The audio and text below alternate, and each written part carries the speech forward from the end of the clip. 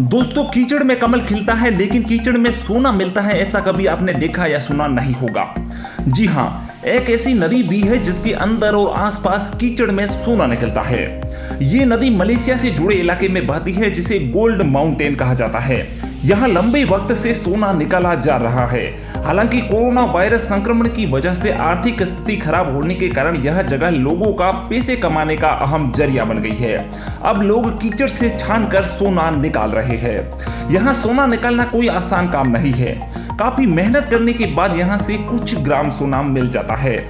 लगभग 15 मिनट तक काम करने के बाद इतना सोना मिल जाता है कि उससे एक दिन का गुजारा किया जा सकता है। एक रिपोर्ट के अनुसार 15 मिनट की मेहनत से करीब दो रुपए का सोना निकल जाता है। आपको बता दूँ कि भारत में भी एक ऐसी नदी है जहाँ से सोना निकलता है।